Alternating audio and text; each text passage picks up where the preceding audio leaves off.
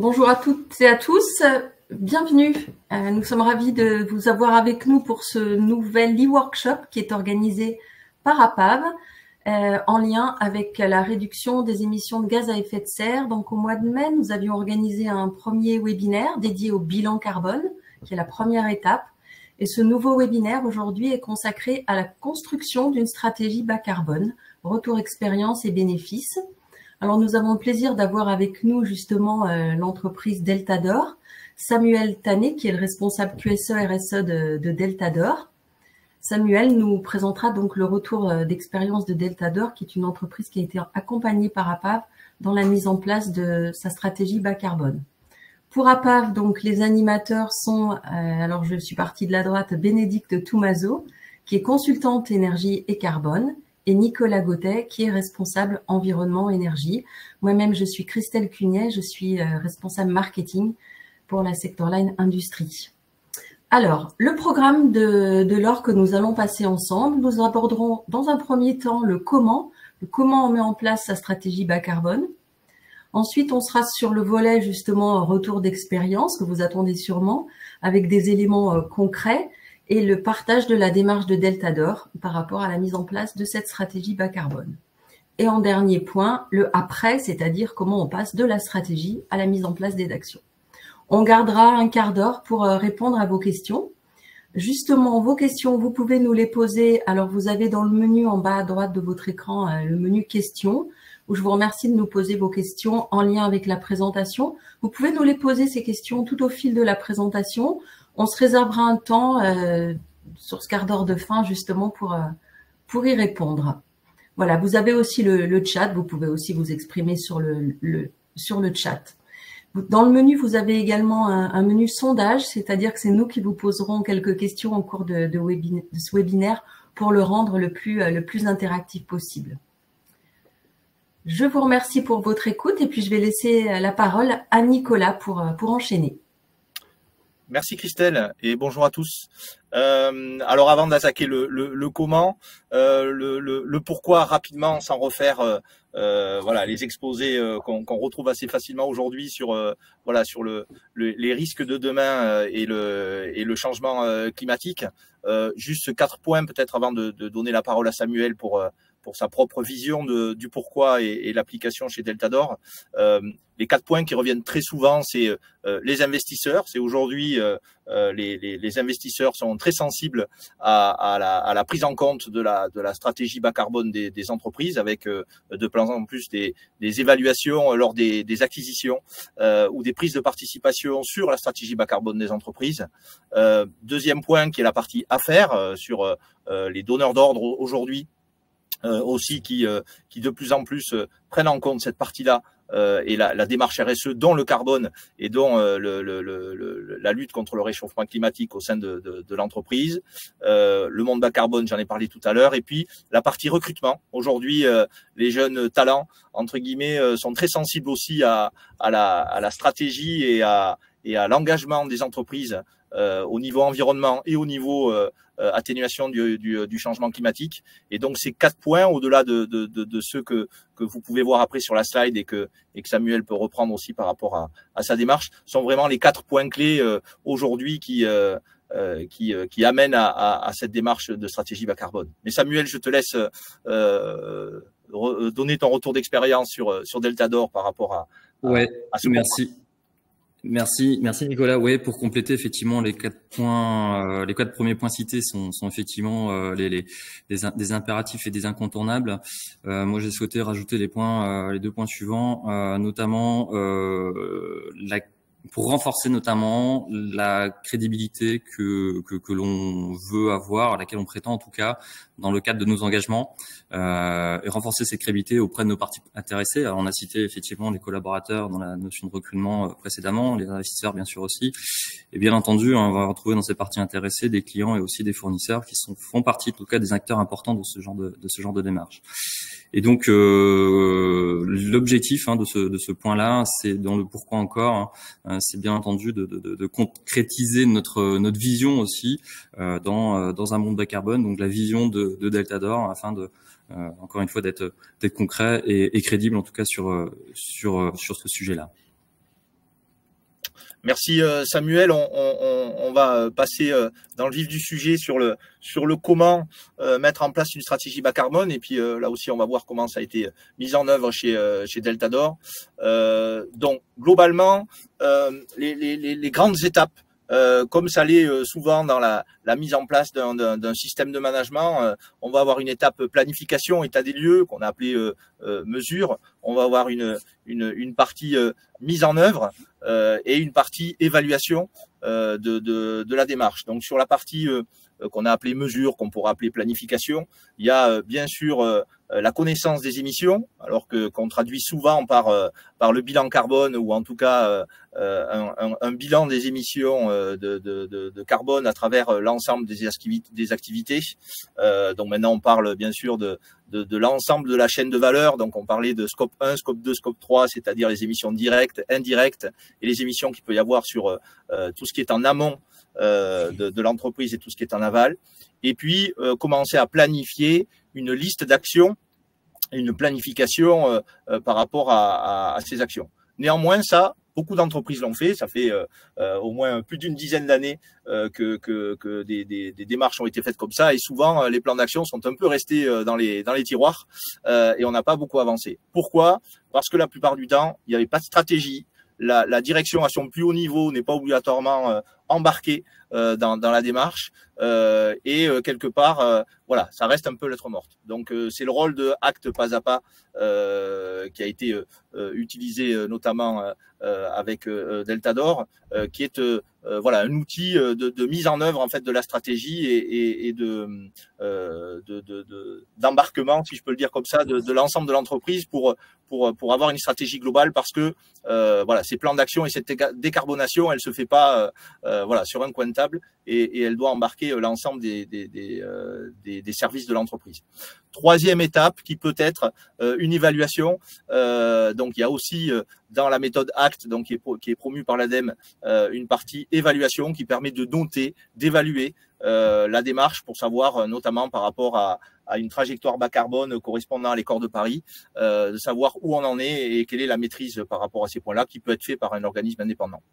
Donc on retrouve euh, les, piliers habituels euh, d'une démarche de, management, quel que soit euh, le, thème qualité, sécurité, environnement ou bas carbone, mais avec des outils aujourd'hui qui sont de plus en plus structurés sur cette sur cette démarche, dont la méthode ACT qu'on a pu utiliser et dont Samuel pourra témoigner.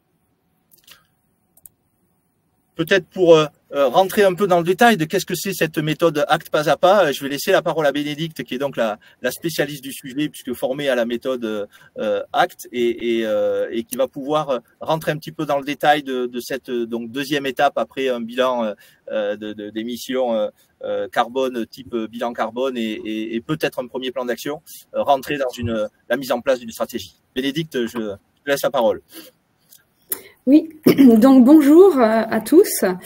En effet, là, donc j'enchaîne sur cette partie, hein, comme vous pouvez voir, qui est toujours sur du, un système d'amélioration, on va dire, hein, un système de management avec toujours ce principe hein, de, de, cycle, vérifier, agir et, planifier.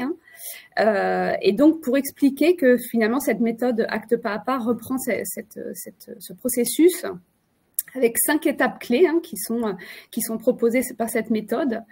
Avec tout d'abord donc cette, euh, cette étape numéro un qui est donc la, des lieux, on va dire, hein, la situation actuelle de l'entreprise, à savoir identifier le profil de l'entreprise et surtout la maturité de, de, sa stratégie de décarbonation.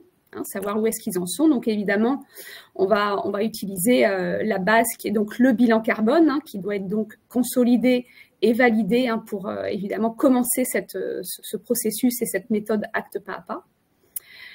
L'étape 2 qui est vraiment un, une identification, on va dire, des enjeux et des défis de, l'entreprise, hein, donc une analyse stratégique sur ces enjeux, ces défis, hein, donc vis-à-vis de ces parties prenantes notamment, hein, évaluer la performance carbone, hein, identifier des indicateurs de performance surtout, savoir où est-ce qu'on en est, est-ce qu'on peut se fixer des indicateurs et, euh, des outils pour évaluer cette performance en fait. Euh, et notamment, comme on l'a dit précédemment, former tous les membres du conseil d'administration. Il faut vraiment que l'ensemble des, des, parties prenantes soient euh, intégrées dans cette démarche, en fait. Donc ça, c'est l'enjeu vraiment de, de, cette étape numéro 2.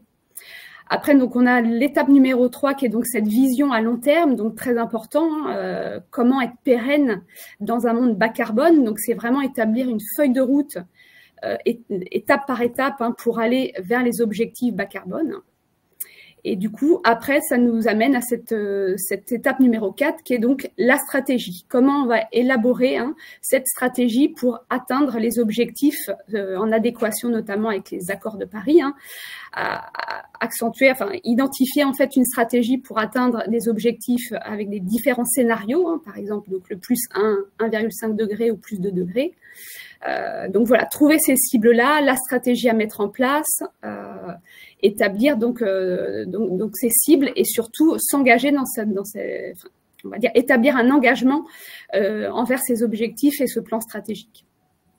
Et donc, c'est donc l'élaboration de cette dernière étape clé qui est, la, qui est le plan de transition, hein, le plan d'action qui va permettre d'identifier euh, les différentes actions concrètes, donc potentielles, qui vont permettre d'atteindre cette cible euh, de, stratégie bas carbone. Euh, notamment des actions qui vont être chiffrées avec voilà, identifier le, tonnage de carbone euh, réduit action par action et surtout comment mettre en œuvre ces actions jusqu'à la cible, que ce soit du, un objectif 2030-2050 par exemple. On va, on va pouvoir en discuter tout à l'heure avec le, le cas Delta d'Or. Donc voilà, c'est un, ensemble de, processus avec ces cinq, étapes clés qui utilisent notamment, euh, il faut le préciser, une, grille de progrès en fait hein, sur l'avancement de la mise en place de cette stratégie bas, carbone. Et en fait, l'avantage voilà de cette méthode, c'est surtout cet outil de grille de progression qui, au fil de chaque étape, va être complété et, euh, ça va nous permettre de suivre en fait hein, l'évolution et la performance, euh, on va dire, de, de cette stratégie bas carbone. Donc notamment, par exemple, on utilise la, méthode SWOT, SWOT pour la, tout ce qui est enjeu, défi, hein, euh, et, euh, et, le, plan d'action qui va se traduire vers, euh, vers différents scénarios, en fait, on va pouvoir voir par la suite. Samuel, je te laisse la parole, ou tu peux peut-être voilà, préciser un peu l'intérêt de, de cette grille qui a été fortement utilisée à chaque étape. Ouais, tout à fait. Ouais, pour euh, pour compléter hein, effectivement la, la, la, démarche, la méthode ACT, euh, un de ses intérêts, c'est qu'elle est elle est éprouvée, elle est outillée aussi, elle est très outillée. Et euh, en fait, le, quelque part, le package, au-delà de la, la, la, formation, pour euh, quand même euh, bah, cerner à peu près la méthode, cerner aussi, identifier les outils, à quel moment éventuellement les, les employer. L'un des, des, des, intérêts, effectivement, c'est cette fameuse grille. alors d'auto-évaluation, de, co-évaluation, euh, qui est un petit peu désagréable au départ parce que forcément, euh, quand on part de presque zéro, à part dire ok, on a du bilan carbone, mais derrière il y a plein de questions qui sont posées auxquelles on a on n'a pas forcément directement les questions. Euh, mais ça a l'avantage de planter le décor et de, de, de donner aussi un petit peu le, les, les, jalons et les étapes pour pour y arriver. Euh, donc c'est vraiment un, un outil pour moi qui est du coup structurant, et qui était structurant et qui et qui apporte vraiment aussi les euh, euh, ou qui amène les, les, bonnes questions, euh, on va dire au bon moment de la démarche aussi pour euh, bah, clarifier notre situation et puis identifier bah, les, les leviers activés pour pouvoir euh, pour pouvoir y répondre. Donc c'est une vraie gestion de projet avec une, une grosse implication de l'ensemble des équipes. On l'a un peu évoqué jusqu'à présent. Euh, c'est clair que ce genre de démarche, euh, elle n'a pas de sens ni de valeur euh, si c'est euh, un responsable QSE qui l'a fait tout seul dans son coin. Euh, je dirais qu'un des premiers points de départ, faut qu'il y ait une, une, volonté, en tout cas de, de, la direction, ce qui a été le cas pour Deltador, d'y aller et, et, de mettre les moyens pour pouvoir justement en temps hein, déjà pour enclencher ce, ce genre de démarche. Merci Samuel. On, on, on, va finir un petit peu sur les sur les comment dire les bénéfices, les données de sortie. Qu'est-ce qu'on a à la fin d'une démarche euh, euh d'une démarche acte? Alors je parle de acte pas à pas, donc euh, avant une, une, une évaluation si elle, si elle est faite. Donc au-delà euh, de la boîte à outils dont a dont a parlé Bénédicte ou, ou, ou Samuel, une fois une démarche acte faite, on a bon des indicateurs et des objectifs. donc bien sûr une, une, une stratégie mais la, la, la, stratégie qu'on a, elle se réfère à des trajectoires bas carbone qui sont sectorielles, c'est-à-dire que dans la, la, boîte à outils Act pas à pas, on a une boîte à outils qui est qui est, qui est personnalisé en fonction de certains de, des secteurs d'activité. Euh, alors il y a une boîte à outils euh, générique entre guillemets euh, et des trajectoires euh, euh, génériques, mais il y a aussi des trajectoires sectorielles qui s'adaptent en fait à chaque secteur d'activité, donc qui, qui, est, qui est intéressante. bien sûr, des équipes qui sont sensibilisées avec des différentes parties prenantes qui sont voilà impliquées, voire voire sensibilisées un plan d'action et surtout euh, le suivi du plan d'action. Euh, comme on le disait tout à l'heure, un plan d'action de temps en temps on, le met et s'il est euh, s'il n'est pas partagé, si on n'a pas dit qui était responsable de quoi et comment on assurait le suivi, on risque souvent d'avoir un plan d'action qui n'avance pas beaucoup. Donc pour atteindre cette, cette, transformation long terme, euh, bah, bien sûr, on a, on a, on a besoin de ces, de ces données de sortie et qui, euh, qui, voilà, qui permettent d'avoir de, une, euh, des fondations stables pour, euh, pour la suite des événements, euh, qui est quand même d'atteindre les objectifs qui, qui sont fixés à la suite de, cette stratégie. Alors, Christelle, peut-être je te, je, te, je, te, je, te, laisse la main. Euh, en tout cas, je, je, vais la garder. Ça sera plus simple puisque tu vas lancer un petit sondage auprès de, chacun là pour pour faire une petite coupure et qu'avant on, rentre dans le dans le, dans le détail de, de, certaines, de certaines thématiques avec, euh, avec Samuel.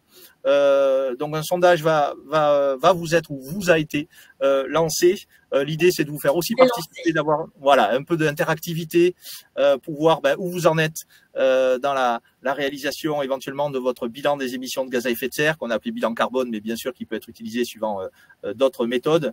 Et puis sur quel périmètre vous l'avez vous l'avez réalisé. On va attendre quelques quelques minutes une ou deux minutes pour, avoir vos réponses et puis euh, voilà, pour avoir un peu d'interaction avec l'Assemblée. Euh, comme on ne vous entend pas, on, on, a besoin de vous lire. Alors, on est en train de vous lire, oui, justement. Euh, les réponses qui se profilent quand, sur la première question, à quel stade en êtes-vous de la réalisation de votre bilan carbone? On a une réponse plutôt dominante sur vous ne l'avez pas encore engagé, ce bilan carbone? Euh, pour euh, les 40% d'entre vous, pour 35% d'entre vous, vous l'avez amorcé et seulement 20%, alors ça bouge en même temps que je vous commente les résultats, mais pour aller un petit peu moins de 20%, vous l'avez terminé. Voilà, donc vous êtes plutôt en amont du, bilan carbone hein, pour les personnes qui sont présentes. La deuxième question, c'est sur quel périmètre vous allez, vous, l'avez réalisé ou plutôt vous allez le, le réaliser, hein, les deux étaient possibles. Euh, alors, plus de la moitié d'entre vous, vous avez prévu de le faire ou vous l'avez fait sur l'ensemble de vos activités, y compris sur les émissions euh, indirectes de, gaz à effet de serre. Voilà. Il y a encore des points d'incertitude pour 20% d'entre vous. Vous ne savez pas encore le, périmètre euh, qui va être retenu. Voilà, je te laisse. Euh, je vous ben, laisse oui, merci, merci Christelle. Euh, bon, comme euh, donc a priori beaucoup d'entre vous êtes effectivement au début de la démarche. Euh, de toute façon, il faut commencer par là, par le bilan des émissions. Euh, mais une fois, puisque le, le, les, les, les, évolutions réglementaires qu'il y a pu y avoir ont aussi, voilà demander euh, des, bilans d'émissions réglementaires euh, euh, aux, aux, entreprises à partir d'un certain seuil sur sur voilà un, bilan quadriennal. Donc d'autres commencent de manière volontaire. Donc c'est la première démarche, mais effectivement, une fois qu'on a le bilan des émissions, euh, qui est peut-être pas le plus difficile, même si c'est pas simple, vous le verrez, euh, parce qu'il faut aller chercher certaines données qui ne sont pas toujours euh, faciles à récupérer. La, la, la, suite de la démarche est importante aussi, et c'est ce qu'on va on va vous vous présenter avec le retour d'expérience de, de Samuel. Euh, donc on va euh, rentrer dans le vif du sujet et puis on, les consultants ont beaucoup parlé jusqu'à maintenant, donc on va laisser parler euh, Samuel et et, et, et, sa, et, son, et son retour d'expérience. Donc peut-être Samuel, même si tu as déjà parlé, on va on va on va commencer à parler de Deltador. Peut-être qui est qui est Deltador? Ouais, très bien, merci. Euh, juste pour peut-être se rebondir sur le sondage qui a été fait, euh, euh, là il s'agit des questions, vous le verrez après dans les, les, les pistes et d'orientation que nous on traite hein, dans la partie action, des justement des questionnements que l'on soumet, en tout cas qu'on compose à nos fournisseurs déjà pour caractériser, identifier bah, avec qui on travaille et quel est leur niveau de connaissance et leur niveau d'engagement. Donc c'est les questions auxquelles vous avez répondu indirectement, c'est aussi celles que nous on soumet donc à, à, nos à nos partenaires. Deltador en quelques mots euh, très rapide. Euh, alors si vous êtes équipé de, de, thermostat, il y a très grande chance que vous soyez équipé de, de Deltador. Euh, euh, en tout cas, nous on est donc une entité qui existe depuis une cinquantaine d'années, essentiellement euh, historiquement en tout cas engagée dans les économies d'énergie. Aujourd'hui, on est à peu près un peu plus de 800 personnes implantées donc en France historiquement et en Allemagne plus récemment. Globalement, nous sommes un fournisseur de solutions euh, qui ont pour vocation de contribuer donc à la transition énergétique et euh, plus, plus, spécifiquement à la sobriété positive. Euh, et en tant que tel, donc nous sommes un fabricant d'équipements, d'équipements électriques, électroniques, qui ont vocation d'être installés, posés dans des équipements, dans des donc dans des logements. Euh, les petits euh, pictos euh, en, bas de la slide, c'est pour vous donner une idée en tout cas des différentes solutions que, que nous fournissons. donc tout ça autour du pilotage et de la maison connectée. de la surveillance via des caméras, du pilotage d'éclairage également, du suivi de la mesure de consommation, forcément bah, le, le, chauffage en tant que tel, et également euh, tout ce qui est pilotage euh, euh, et l'automatisation de, de, volets roulants, et pour finir toute la partie sécurité et alarme. Donc c'est là vous avez un petit aperçu de l'écosystème de Deltador, donc qui permet de, de, en grande majorité en tout cas à contribuer à cette à cette fameuse transition énergétique. Donc, en, je pense qu'en vous présentant ça, vous, vous comprenez ou vous, vous, commencez à cerner le pourquoi de notre engagement, en tout cas sur la démarche ACT c'est que étant engagé historiquement donc sur ces économies d'énergie, euh, l'étape suivante c'était bien de, euh, de, de, de, concrétiser cet engagement à travers une, donc une démarche, une démarche structurée. Euh, coup, Samuel, donc, finalement, tu as presque fait la transition tout seul. Euh, c'est pourquoi et, et, surtout comment vous avez euh, euh, voilà vous avez lancé cette, cette démarche de, de, stratégie de construction de stratégie bas carbone? Tout à fait. en fait donc clairement, on avait euh, on avait déjà réalisé quelques quelques bilans carbone hein, précédemment hein, par des, des, des, opérations un peu ciblées via via les ADEME, via l'ADEME pardon, les CCI. Euh, bon, c'en était un petit peu resté là. Des, des, des, bilans carbone pas forcément très très très poussés, très détaillés. Euh, sauf ces dernières années, on a vraiment euh, été beaucoup plus dans le détail, notamment à développer euh, le fameux scope 3 qui est pas évident. Euh, mais à notre actif, on avait l'avantage, en tout cas, de faire des analyses de cycle de vie, donc d'avoir certaines données beaucoup plus pointues et, beaucoup plus fiables en termes d'impact. Euh, donc en fait, on s'est, on, a, on a assez longtemps réfléchi sur euh, bah, comment comment passer à l'étape suivante. Et puis en cherchant un peu voilà une méthode ou des choses en tout cas qui pourraient nous aider, on est tombé au détour d'un webinaire un peu comme aujourd'hui finalement, euh, sur une présentation d'une démarche ACT, euh, comment ça pouvait marcher, comment ça pouvait être fait. On s'est dit tiens, c'est, ça a l'air plutôt euh, structuré, structurant, donc on, on s'est dit pourquoi pas. En tout cas, moi j'ai soumis la, la, la, proposition euh, à ma direction qui a dit ok, bon coup, on y va. Effectivement, ça peut répondre à notre besoin. Euh, il faut savoir que derrière euh, ACT, hein, il y a un accompagnement et un comment dire un financement par l'ADEME qui varie en fonction des tailles d'entreprise, mais ça on en parlera à la fin. Euh, donc euh, auquel on a on a on a pu euh, que l'on a pu bénéficier. Et puis euh, dans cette démarche là, ben, on s'est forcément questionné sur les entités qui pouvaient nous accompagner. Il y en a plusieurs, hein, il y en a vous trouverez les différents noms sur internet notamment. Et nous on a fait hein, donc le choix, vous en doutez, de la PAV avec qui aujourd'hui on fait ce retour d'expérience. C'était pas que l'ordre alphabétique. Non, non, non, non, non, non. Alors, euh, oups là, ça tourne un peu vite. Euh, donc, euh, une fois le, la décision de se lancer, qui impliquait, combien de temps ça a duré? Alors, ouais, là, vous avez un peu les ordres de grandeur. Hein, grosso modo, une démarche, un chantier ACT, c'est, on nous a dit, c'est entre, allez, entre 12 et 24 mois, mais c'est plutôt 24. Nous, on se dit bon, allez, euh, on veut, on voulait aller assez vite. On a fait, euh, on a fait 14 mois à peu près. Alors, sachant que dedans, il y a deux mois d'août. parce qu'on a démarré au mois de mois de juillet 2022. et puis voilà, le temps d'enclencher tout ça, de, de, de, de, lancer, on va dire, les invites de, de, tous les contributeurs qu'on qu'on avait besoin. Voilà, ça a vraiment démarré en, en, en septembre. Et puis euh, voilà, on a on a activé un ensemble des étapes euh, qui, que, que, vous avez vues précédemment. Et on a terminé euh, assez récemment encore. Hein, on a publié nos derniers lettres d'engagement sur plan d'action au niveau de l'ADEME. Donc c'était tout début octobre. Donc c'est encore très très frais très frais pour nous. Euh, et euh, donc là dans cette démarche hein, et dans cette mise à contribution, euh, ce qu'on peut dire quand on regarde un petit peu les, les compteurs des, des contributeurs, euh, on est grosso modo à une trentaine de collaborateurs directs, sachant qu'il y en a un peu plus euh, en indirect parce que voilà, forcément c'est une démarche qui euh, qui implique beaucoup beaucoup les directions, les managers, mais aussi on va dire les experts domaines dans, dans, dans l'entreprise. Euh, donc on a on a on a au moins ouais une trentaine de collaborateurs qui ont été impliqués directement par les, les différents ateliers euh, proposés par ACT et menés par par APAV. Euh, forcément un sponsor de direction, je l'évoquais un petit peu tout à l'heure, ça c'est indispensable dans ce genre de démarche. Hein. Si c'est pas porté par la direction, je dirais vous vous engagez pas. Euh, parce que ça va être ça va être compliqué d'aboutir à quelque chose et de, de, de mener ensuite euh, les actions attendues. Euh, et donc nous, ce qu'on avait, ce qui est attendu hein, dans, le, dans la méthodo, donc un coordinateur interne. Ça, c'était euh, c'était moi qui m'y suis collé, et donc un, un consultant externe euh, justement qui aussi est le garant quelque part de et de l'animation en partie et de la du respect on va dire de la méthodologie proposée par par ACT. Ok. et du coup, quelle quelle bonne pratique, quelle quel point d'appui euh, retenir euh, pour, euh, pour, pour la démarche?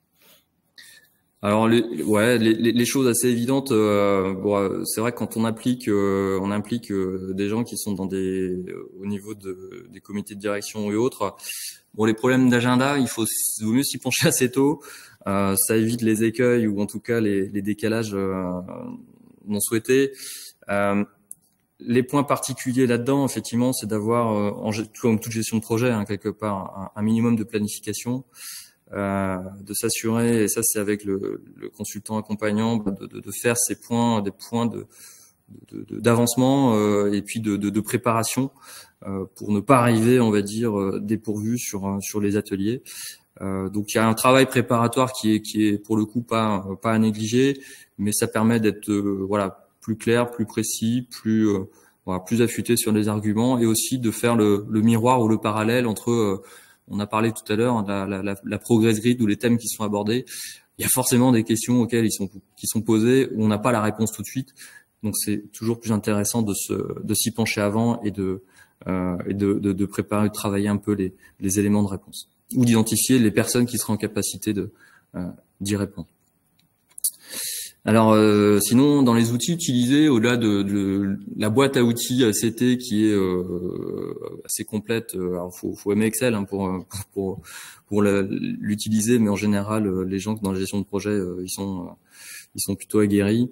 Euh, nous, on a utilisé en plus un outil qui s'appelle Klaxoon, qui est une sorte de, de, gros paperboard virtuel ou digital, et qui a l'avantage de, de gérer, de stocker finalement bah, toutes les, les échanges quelque part ou toutes les idées qui ont pu être émises euh, euh, lors des différents ateliers préparatoires et de et, d'avancement. Euh, et ça, finalement, bah, on, les réutilise au fil de l'eau. On, on, vient les, les, les organiser, les structurer, les regrouper. Donc c'est c'est quand même euh, un atout quelque part de ce genre de, de, de pratique parce que c'est c'est des démarches qui prennent du temps, mais finalement quand on voit le support à l'origine et puis à la fin où on en est arrivé, eh bien euh, on voit qu'il y a une une certaine continuité, une certaine capitalisation qui est faite entre entre les, les différentes les différentes étapes. Euh, bonne pratique encore hein, et recommandations. Euh, effectivement, il y a la, la, quand même l'intérêt du présentiel. On a, alors nous, on n'a pas pu tout faire, on n'a pas forcément tout fait en présentiel. Euh, et on, on, on, sait, on a vu, hein, euh, mais vous, voilà, depuis le Covid, vous connaissez les, les usages euh, euh via les Teams, les Zoom et, autres outils. Euh, là, sur ce genre d'ateliers qui peuvent parfois occuper une journée, la reco, c'est quand même, en tout cas la mienne, moi, c'est de, de, faire les choses en présentiel parce que en termes d'interaction, en termes de, de, de suivi, c'est quand même plus facile pour être plus productif et efficace sur ces sur ces fameux ateliers. Et enfin, dans les dans les discussions qu'il y a pu avoir, et forcément parce que quand on part des du, sujet, quand on fait la photo de bilan carbone, euh, il y a un moment donné, euh, on, on, regarde un peu les données. Et ça, c'était un des, des atouts que qu'on avait, c'était vraiment d'avoir cette, cette historique-là de d'analyse de, cycle de vie euh, de nos produits. Euh, maintenant, on en a depuis plus d'une quinzaine d'années, on a une, une base assez euh, qui s'étoffe en tout cas d'année en année, qui est assez assez significatif maintenant. Et ça encore, ça permet vraiment de euh, d'affiner, de qualifier un peu plus les choses, euh, notamment quand on fait le parallèle avec le, bilan carbone et justement pour alimenter le bilan carbone. Alors ça, c'était les, points d'appui et les, recommandations. Euh, et derrière, les, les, en tout cas pour ce qui était les points d'appui, les difficultés, les pièges à éviter. Ouais, un peu évoqué. Hein, le, bah, comme toute gestion de projet, hein, si on s'y prend euh, un peu en retard, bah, forcément c'est plus compliqué de, de, de, jouer avec les, avec les agendas. Donc ça c'est un peu une évidence, mais euh, c'est pas à négliger. Selon en tout cas le, le, public que vous avez et des gens qui ont déjà des ministres, euh, des, agendas, des agendas de ministres, hein, euh, ça fait partie des choses qu'il faut qu'il faut anticiper. Euh, après, le, le, le, point, l'un des points clés, c'est quand même parce que c'est la, la comment dire, euh, les stratégies, la définition stratégie carbone, c'est quand même pas un exercice évident, faut se le dire. Euh, à l'échelle d'une entreprise, quand on travaille sur des horizons budgétaires euh, à un an d'investissement, à, quelques années et, de, business model à 5 ou 10 ans, bon, travailler sur la, stratégie carbone, c'est tout de suite, on, on, rajoute une dizaine ou une quinzaine d'années à ces horizons-là, et c'est quelque chose qu'on n'a vraiment pas l'habitude de faire, et c'est quand même une, une, une, vraie difficulté en tout cas euh, à appréhender. Donc euh, s'imaginer de quoi demain sera fait sans avoir de boule de cristal, c'est très très, euh, c'est un exercice pas évident, c'est plutôt difficile.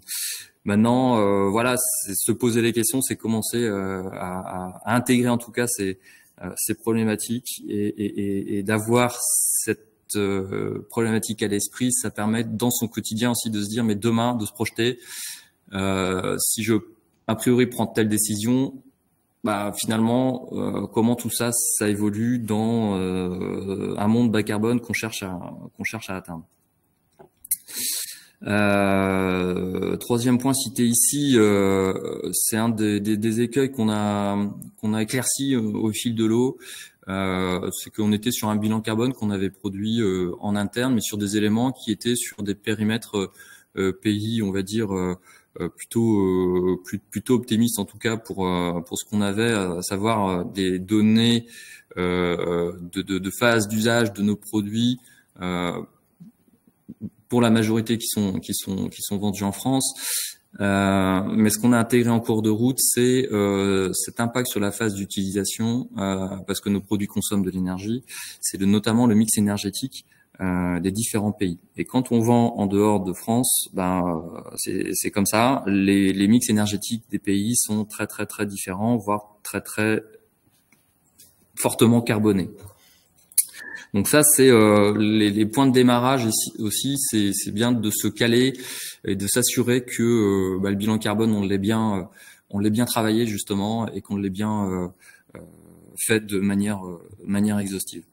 au passage, hein, réflexion comme ça, hein, parce que c'est aussi des échanges qu'on a parfois avec des, des, fournisseurs, même des choses qu'on voit. un bilan carbone, tant qu'on n'a pas fait un scope 3, accessoirement, moi je considère qu'on n'a rien fait du tout. Quoi notamment si on est euh, un industriel. Euh, les impacts, ils sont euh, dans le scope 3 à plus de 90 voire 95% des des activités. Donc c'est des choses qu'il faut intégrer. C'est plus difficile à faire, mais sans cette photo-là, finalement, on ne part pas sur de bonne base pour pour produire une stratégie qui, qui prend qui devrait prendre en compte ces, ces éléments. Euh, donc de fait, hein, est lié à ce bilan carbone, euh, il y a tout un exercice de et de règles euh, et de calcul de ce qu'on appelle les facteurs d'émission. Euh, parce que malheureusement, dans certains cas, bah, on n'a pas forcément les données, il n'y a pas les éléments qui permettent de le totalement de le quantifier. Euh, donc là, c'est tout le jeu, tout l'exercice bah, de, de, de, se projeter, d'extrapoler les données euh, en fonction des, des éléments que l'on a. je vous parlais tout à l'heure d'analyse de cycle de vie. Hein, on en a sur euh, beaucoup de produits, mais on n'a pas forcément sur l'intégralité de nos produits. Donc à un moment donné, bah, on prend des hypothèses et, euh, et sur, euh, et on tire des on tire des, droites quelque part. Hein. On, fait des extrapolations euh, sur cette projection en tout cas d'impact. Et un point qu'on n'avait pas trop vu non plus, mais qu'on a commencé à voir plutôt à la fin, parce que quand on commence à se dire ok c'est bien, on va définir un objectif, mais où est-ce qu'on atterrit et comment est-ce qu'on atterrit euh, à un certain niveau à un horizon de 2050. Et, et typiquement, euh, c'est intéressant d'ailleurs parce que on se rend compte, euh, je crois que Bénédicte, je t'ai embêté aussi pas mal là-dessus. Euh, c'est euh, qu'est-ce qui se passe euh, quand on se projette, comment évoluent les mix énergétiques des pays. Alors nous, en tant qu'industriels, en tant qu'usine, euh, de, de, de, fabrication, d'assemblage, mais comment évolue le mix énergétique euh, d'un pays lambda euh, à un horizon de 10, 20, 30 ans? Et ça, c'est des choses également qu'on a qu'on a souhaité, qu'on a voulu prendre en compte parce qu'on sait que ça va bouger. Maintenant, quand on se pose la question de comment ça va bouger, bon, c'est un peu plus difficile de trouver en tout cas les les éléments clés. Donc voilà un petit peu en synthèse, en tout cas, nos, nos, nos points de points d'intention et puis les points les difficultés, oui, qu'on a qu'on a réussi à lever, hein, mais qui sont euh, en tout cas des éléments importants, en tout cas moi que je voulais vous restituer sur euh, ce projet-là, sur cette démarche-là. Ok, on, donc on a vu un peu les les, euh, points d'appui, les, difficultés. Donc au, regard de ces 14 mois de travaux, quels sont les premiers résultats et bénéfices? Ouais, alors des, des, choses qui arrivent assez vite hein, dans les, les, premières euh, phases du projet. Euh, effectivement, euh, ça permet de formaliser, structurer un petit peu, le, faire un état des lieux général et pas que de se regarder soi-même, euh, parce que ça, ça permet aussi peut-être de se dire, mais en fait, pour, enfin, de, d'expliquer aussi pourquoi on le fait. Euh, c'est qu'il y a déjà une prise de conscience qui est faite soit au niveau de certains clients, mais aussi au niveau de certains concurrents. Donc ça, c'est du point de vue de, de de vos entreprises. Euh, je parle euh, aux, gens qui participent au, aux gens qui participent au webinaire. Posez-vous la question de où en sont euh, justement vos clients, vos concurrents. Euh, ça peut vous inciter peut-être à, accélérer ou en tout cas vous positionner là-dessus. Euh, et, et, et c'est souvent très très instructif parce que là aussi euh, on, on, on, découvre certains outils euh, où on peut voir bah, finalement, notamment je pense à du, des, des, des, des, instances comme le SBTI, bah, les engagements de certains euh, certaines entités, de savoir comment ils se sont positionnés et déjà d'anticiper même sur certaines exigences que eux, alors s'ils les ont pas déjà, auront probablement sur euh, voilà euh, l'empreinte carbone des solutions qu'on fournit, euh, sur la décarbonation qu'on a ou pas. et ça, c'est déjà un, premier rapport. Et bien sûr, la photo des concurrents, ben déjà ça, ça, c'est quelque chose que chaque entité en général maintient.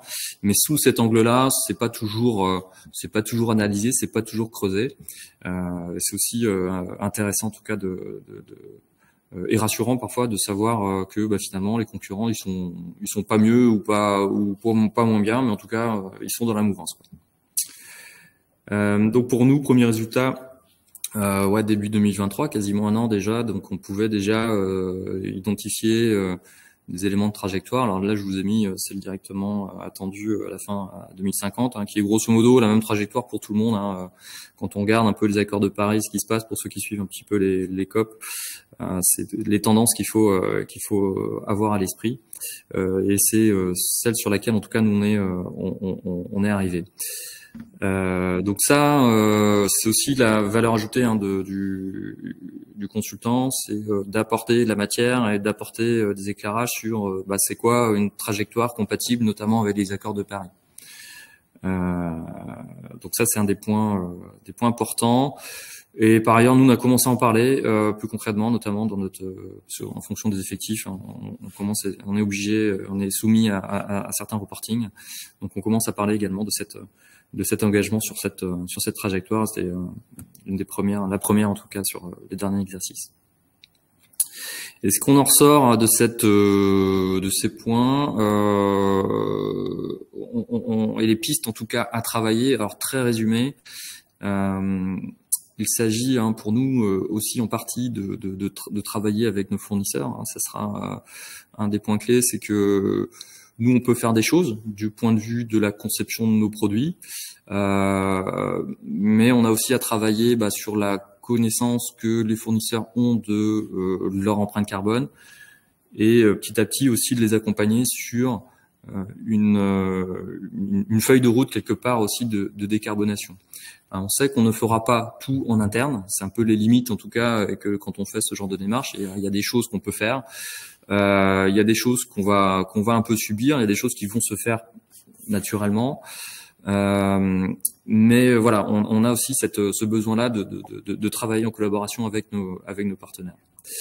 Donc, euh, j'ai un peu évoqué, mais ça fait toujours partie des points clés et voir qui, qui ont encore été plus renforcés parce que quand on regarde le bilan carbone, et je vous l'évoquais, les ordres de grandeur, plus de 90-95% d'empreinte carbone, qui est imputable finalement au, au produit, euh, quelque part, c'est euh, important euh, déjà de le caractériser, de l'identifier, mais on met le doigt tout de suite sur euh, bah, comment demain je peux faire euh, a priori un produit, un produit moins carboné.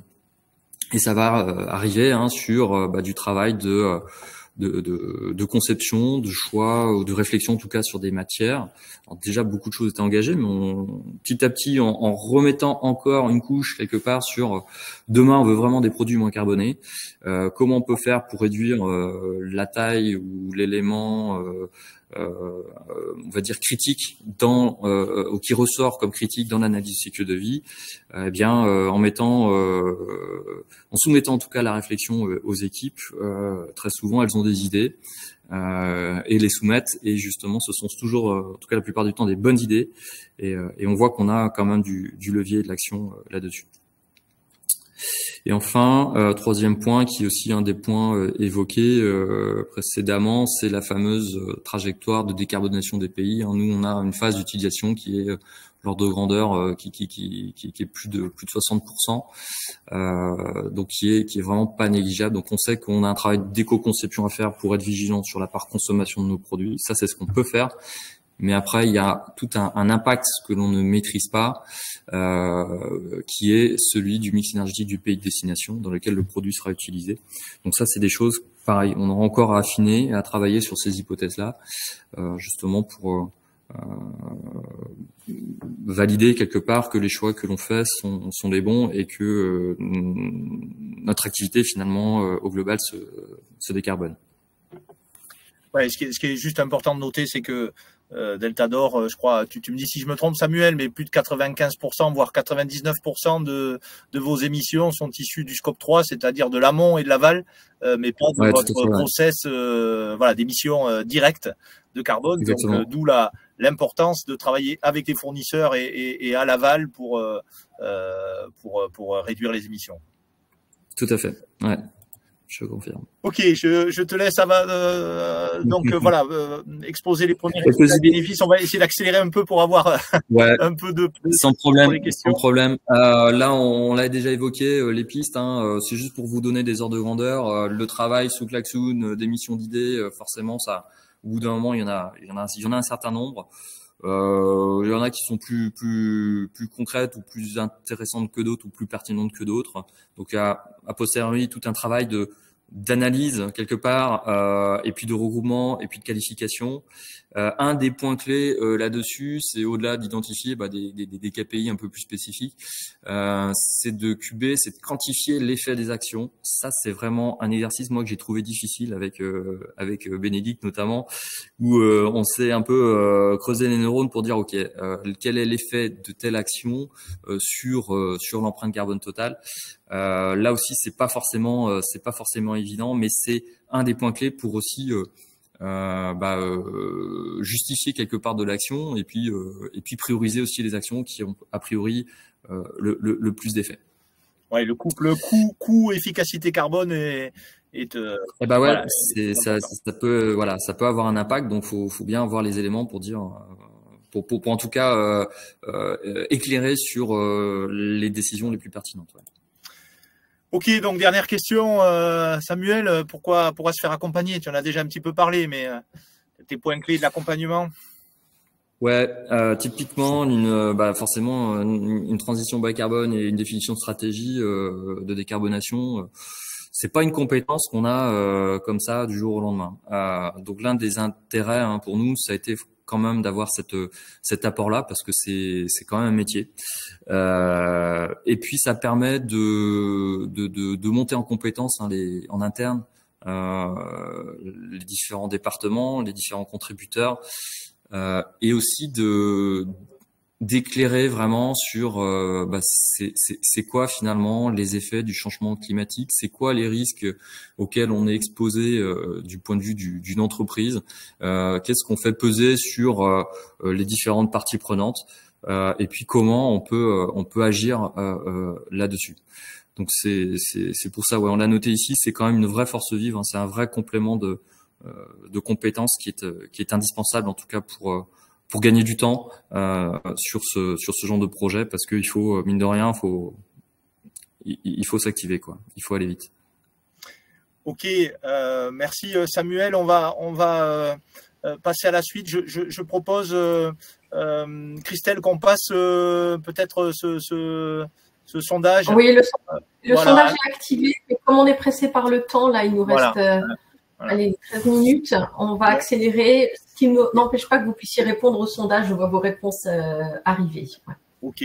Bon, je fais une synthèse rapide de, de, ce que euh, voilà de ce qu'on a pu euh, de ce qu'on a pu voir et de ce qu'on a, pu se dire. bon, l'identification, l'implication et la sensibilisation des équipes.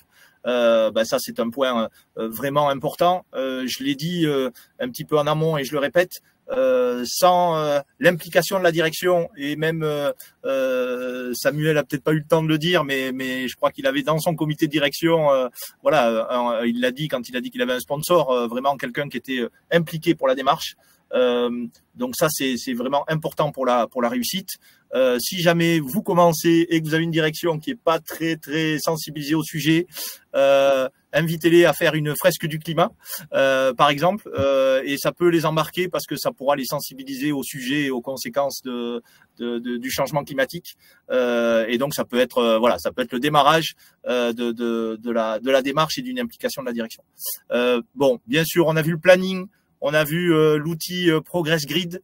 La, la, validation du bilan gaz à effet de serre, qui est importante parce que bah, vous allez définir une trajectoire, vous allez définir des objectifs de réduction. Euh, si vous êtes planté au départ sur les fondations, la maison risque de se lézarder et surtout on va on va vous dire mais je comprends pas, euh, euh, on émettait telle quantité de, de, de carbone l'année dernière et puis là on refait le bilan et, c'est une fois et demi plus parce qu'on a oublié des pays en aval dans lesquels le mix énergétique était important par exemple.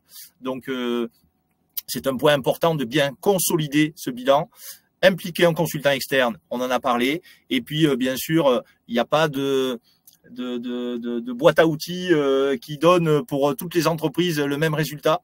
Euh, on parlait euh, tout à l'heure de 99% des, des, émissions qui étaient en amont et en aval des activités euh, de, de Delta d'Or. Vous pouvez trouver d'autres activités dans lesquelles ça peut être voilà que 60 ou 70%. Par contre, de toute façon, c'est sûr que la chaîne amont et la chaîne aval, comme le disait tout à l'heure Samuel, c'est vraiment des points importants à regarder dans un bilan carbone parce que c'est là-dessus qu'on va gagner et faire gagner des, des, des, des, émissions de, de carbone en diminution. Euh, je passe rapidement sur, euh, même si c'est important, euh, sur la notion de coût de financement. donc Samuel en a parlé rapidement.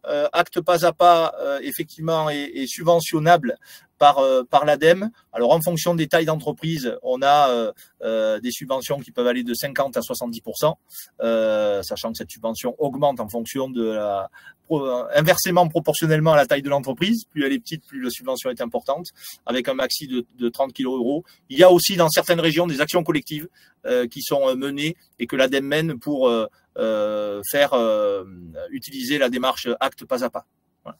On a déjà vu les bénéfices, je n'y reviens pas. Euh, donc euh, euh, ça c'est la stratégie. on a parlé de la stratégie, on a parlé des 14 mois. Le dernier point c'est dire bon ben très bien. Deltador a, a, fait la démarche. Qu'est-ce qu'il y a Qu'est-ce qu'il y a après?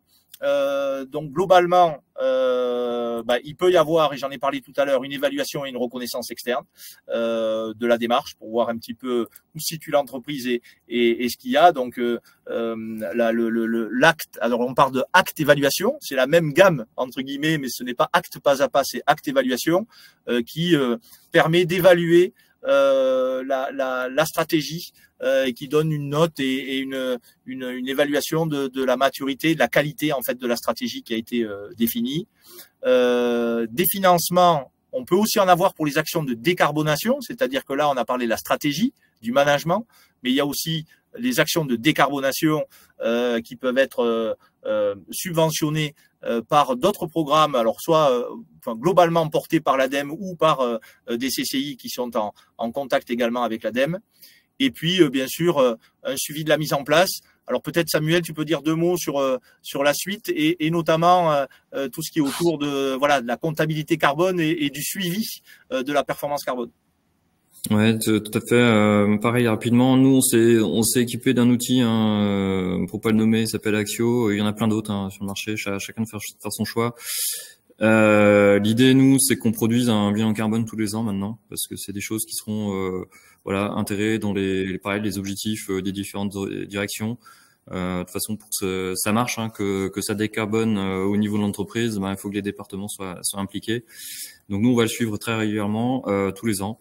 Et puis, on est en réflexion là pour aller même plus loin. je vais parler ou évoquer le SBTI tout à l'heure.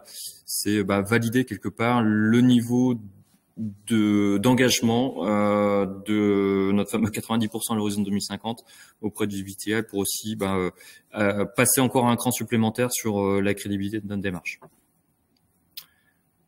Merci Samuel. Ce qu'on peut retenir en, en, euh, en, synthèse et Samuel tu, tu, tu me compléteras euh, un euh, euh, bah, il faut pas trop attendre pour agir parce que parce que bon là au-delà de, des enjeux climatiques euh, voilà le rendez-vous de 2030 arrive vite donc on vous conseille fortement de, de, de, vous y mettre parce que pour les raisons qu'on a évoquées en début de, de, séance il y, a, y, a, pas mal d'éléments de, de, contexte qui, qui poussent à agir.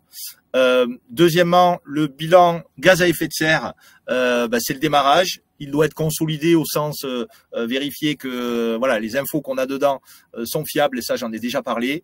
Et puis bah, derrière, acte pas à pas, c'est un outil aujourd'hui reconnu notamment par l'ADEME et par les pouvoirs publics pour attaquer cette trajectoire, la définir et structurer structurer la démarche. Samuel, si tu veux rajouter un mot. Ouais, non, euh, par insister sur euh, l'urgence de passer à l'action. Hein. Je pense qu'il faut pas attendre nos politiques. Euh, je pense qu'on est tous acteurs. Euh, faut plus trop se poser la question si euh, on doit faire ou pas faire. Euh, maintenant, faut voilà, si vous n'avez pas de bilan carbone, je ne peux que vous inviter à le faire. Il y a pas mal de gens hein, qui, de solutions qui existent. Donc là, là-dessus, et on peut se faire aussi accompagner pour faire du bilan carbone. Faut, franchement, c'est la première étape. Et puis derrière, euh, après, il n'y a pas de, il a pas de petits gains, il n'y a pas de petits gestes. Et il peut y en avoir des, des, des, beaucoup plus gros, mais pas toujours. Mais ça sera l'effort de, de, de, de toutes les entreprises quelque part. Hein. C'est de, pour y arriver, il n'y a pas le choix, faut, faut, faut y aller.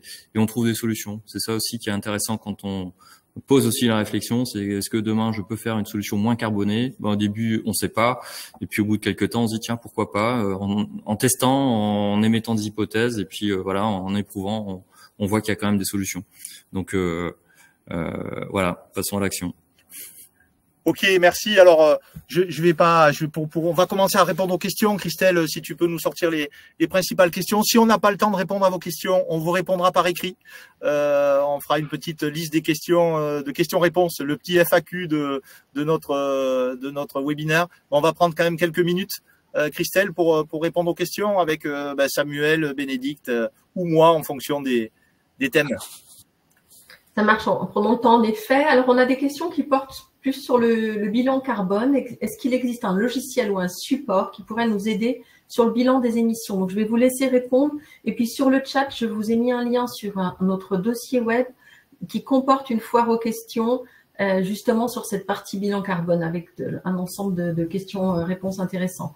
Je, je vous laisse répondre sur les outils pour le bilan carbone. Bénédicte Je te laisse la main. Oui, du coup, en amont, en effet, il faut, euh, euh, ça rejoint un petit peu une autre question qu'il y a, mais sur euh, soit se faire accompagner, en effet, soit le faire en, interne. Hein. Il existe donc la, méthode bilan carbone, hein, qui a été développée par l'ADEME en, en, 2001.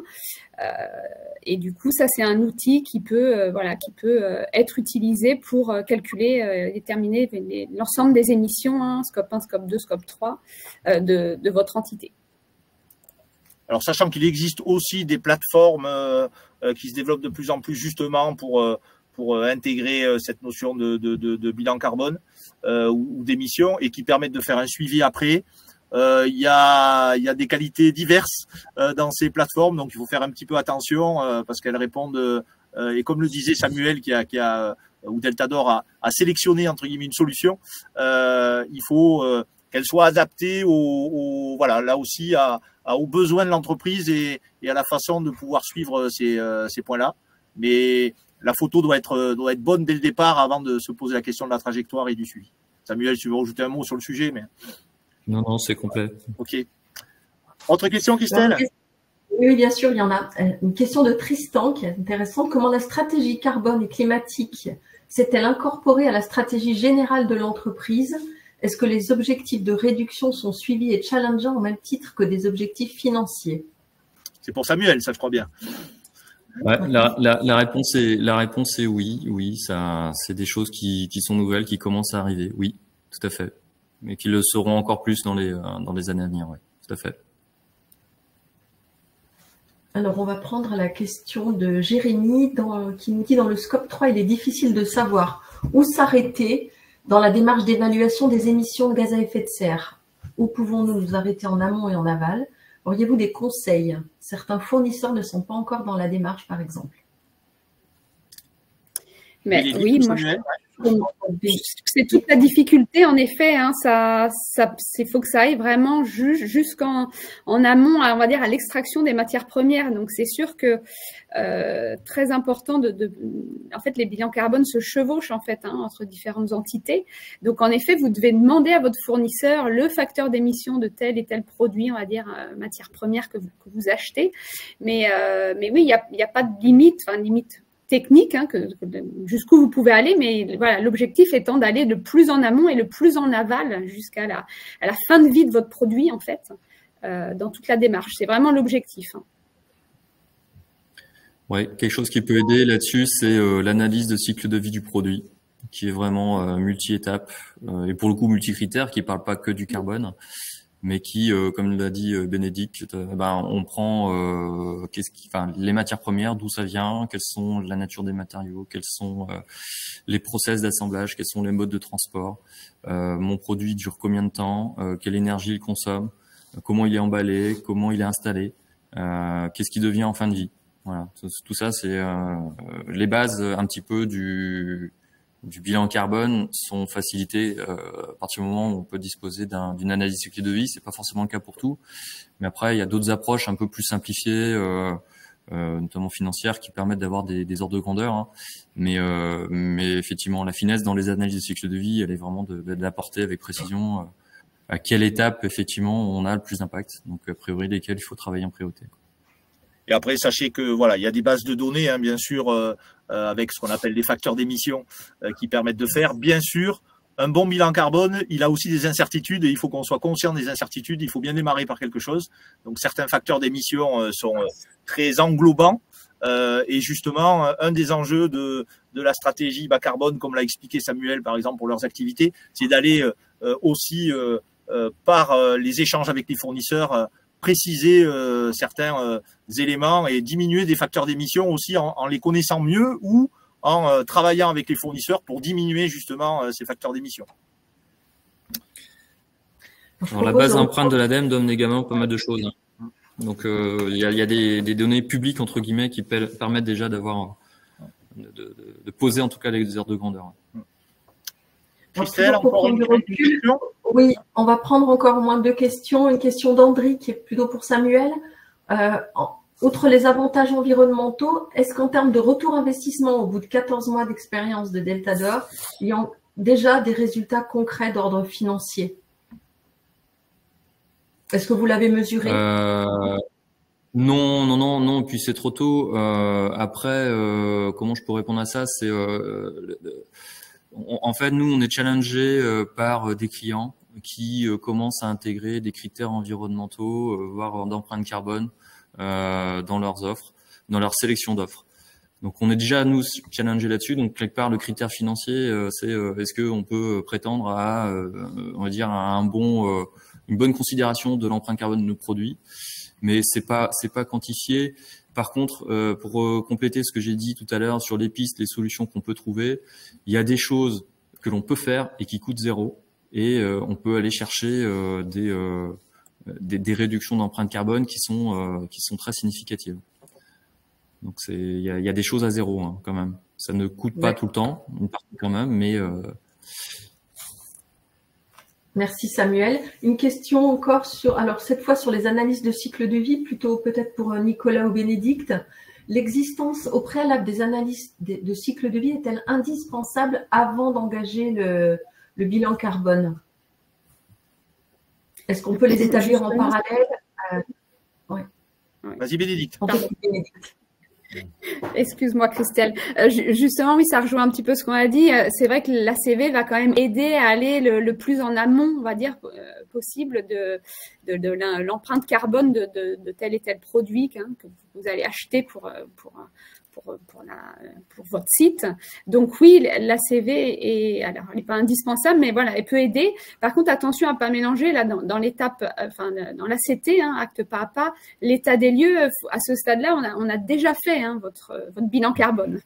Donc c'est vraiment euh, pour commencer la, la, le processus acte pas à pas, le bilan carbone est déjà finalisé et, euh, et consolidé. Donc la CV a déjà été utilisée, on va dire. D'accord. Alors une question peut-être pour Nicolas ou Bénédicte. On, nous interroge sur le coût de l'accompagnement. Donc j'imagine qu'il dépend d'un périmètre, mais on peut en tout cas expliquer euh, comment ce, coût s'établit. Bénédicte, tu te laisses répondre? euh, Je complète si tu veux. Ça, va, ça va. sinon, je peux vous donner l'ordre de pour Delta d'Or. Euh, c'est un accompagnement environ 30 000 euros, 50% financé par l'ADEME. C'est ça. Alors c'est ce qu'on a vu sur la diapo tout à l'heure. Hein. Vous avez un maximum de, de, de, de 30 000 euros dans l'assiette euh, ADEME. Et euh, bon, souvent on se retrouve à peu près dans ces euh, dans ces ordres de grandeur. Euh, euh, alors tout dépend là aussi de la taille de l'entreprise, de, de, de, de, la démarche qu'il y a, etc. Mais voilà, quand l'ADEME donne une assiette et, et, et après avec le, le, le, pourcentage qui va de 50 à 70%, vous retrouvez les ordres de grandeur classiques d'une d'une démarche de stratégie bas carbone. Quoi. On a fait le tour des, questions et puis euh, il est midi, midi 5, donc c'est l'heure de nous séparer. Je vous invite, euh, avant de nous quitter, à répondre aux deux questions, du, aux trois mêmes questions qui sont dans le sondage, euh, pour savoir si ce webinaire vous a apporté toutes les informations utiles. Je vous ai mis le lien hein, sur le chat sur notre dossier web également pour aller un petit peu plus loin. on va consolider vos, vos, questions pour alimenter encore cette, cette foire aux questions et, l'enrichir. Voilà, si vous souhaitez être contacté par APAV, on vous pose également la, question sur le, sondage pour approfondir certains points spécifiques euh, par rapport à votre entreprise et à votre projet. Voilà. Je vous remercie vivement nos, animateurs. Euh, Samuel, merci pour ce retour d'expérience intéressant. Merci Bénédicte et, Nicolas. Et puis, on, on, vous souhaite une excellente, une excellente journée. Merci à vous tous. Merci. Merci. Merci. Au revoir.